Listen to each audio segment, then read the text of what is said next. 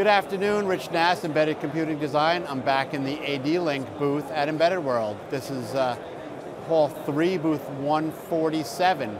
I'm here with Henri Parmentier, and um, he's a product manager on some of these really interesting modules, and I'm going to let Henri walk through what some of these modules do. Henri, okay, thank take you. it away. Let's start with the latest and greatest platform, which is a brand new called OSM. So this covers low power x86 and also ARM systems. Then we go over to a little bit a more mature platform called SMARC.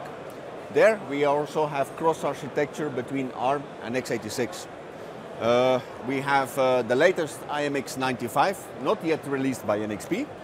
And we also have the latest Alder Lake N, Amston Lake uh, x86 products. So we, we're very, very up to date with our products there. Then we go to the third platform, which is called COM Express. Very mature, very stable platform used by many, many, many people. There we also have uh, latest Amston Lake, Alder Lake, we have Tiger Lakes, we also have AMD VR7s, and so on, Raptor Lake, NanoX. We have all the possible combinations in uh, x86 on COM Express. Now, let's go behind the corner first. So, and then uh, we are coming to the last part of what we have to present. This is also a new standard called COM-HPC.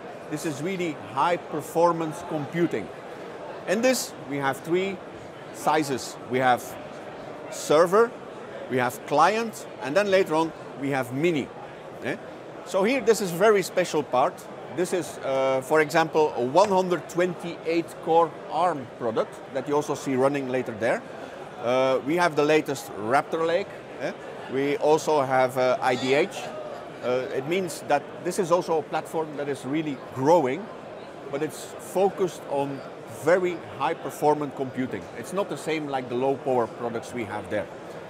And this is a little bit what we have in modules today. I think we Thank have you for very everybody much, something, right? Very exciting. Come see them for yourself at the AD-Link booth, Hall 3, booth 147.